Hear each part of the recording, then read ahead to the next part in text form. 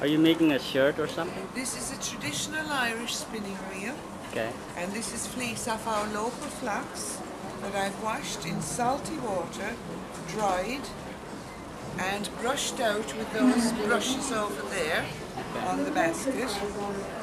And now uh, I'm giving it its first spin, and that's the S wind. Oh. and the wheel is going clockwise. And when I have spun the bobbin full, I will put it on the lazy Kate and I will draw two or three threads off the lazy Kate, put them back through the wheel on an empty bobbin, but I'll spin the wheel the opposite way, anti-clockwise, and that is the Z wind. And that will ply and balance the yarn. I will then wind on those sticks over there called niddy noddies, those sticks there. And they will me these skeins of yarn like the ones you see in the basket. And it can then be knit into uh, Aran sweaters or tapestries. Or if I leave it in the single ply, I can make tweed out of it and uh, weave it into cloth. So I have a choice amazing. as to which I do. Alright? So how long does it take to make a sweater? Uh, it takes them 40 hours to knit one of those in their own homes in our cottage industry. And um, we have a network of agents who distribute the work throughout the country.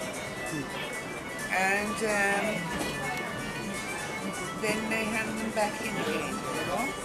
And it's one of our oldest cottage industries.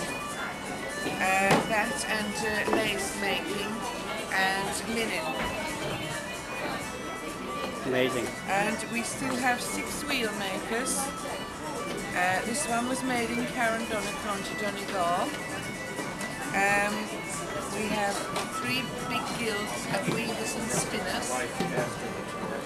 We have three very good um, colleges of textile design. Um, and we still have our traditional trades of the tweed and the Aran. How so? How old is this machine? That wheel, I suppose, about 40 years old. Four years old. He's still alive, the man who made it, but it's made in the traditional manner. And we still have plenty of spinners learning to spin, Yeah. and uh, they like to make their own artworks, especially young people going into the textiles industry. Yeah. And you can spin anything on this wheel. You can spin silk, wool, dark hair, linen, hemp, cotton, um, anything you want. That's good.